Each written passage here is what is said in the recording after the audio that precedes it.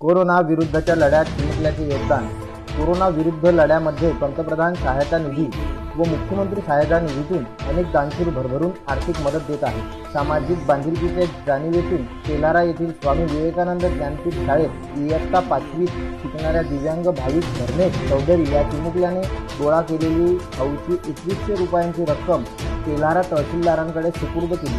सध्याचा संकट काळ आहे. कोरोनाला हरवण्यासाठी अनेक दानदाते लोक पुढे सरसावले आहेत. चित्रपट अभिनेत्यासोबत उद्योगपती व्यावसायिक सुद्धा पुढे येत आहेत. भरभरून आर्थिक मदत देशासाठी देत आहेत. याबाबतचे वृत्त भाविक चौधरी याने सुद्धा ऐकले. त्यातून त्यांनी सुद्धा देशासाठी आर्थिक मदत करण्याचा संकल्प केला आणि वर्षभर जमा केलेली हावची रक्कम त्याने तहसीलदार राजेंद्र सुरळकर यांच्याकडे सुपूर्द केली.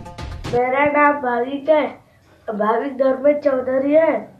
मैं पांचवी कक्षा में पढ़ता हूँ स्वामी विवेकानंद ज्ञानपीठ टेलारा में मैं पढ़ता हूँ कोरोना के संकट में मैंने मेरे गुल्लक में से इक्कीस सौ रुपये दिए